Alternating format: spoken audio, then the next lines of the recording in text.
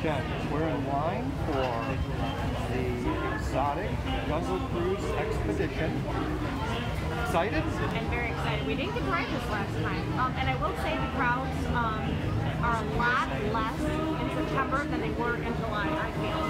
Yes. Everything that has said a 30 minute wait has been 15. Everything that has been a 45 minute wait is have actually only been 20 minutes. See, a half time for whatever ride time is posted. Um, everything has been really good. Weather's been good. Uh, lower crowds too, so that's definitely been a plus. It's been great. Sounds good.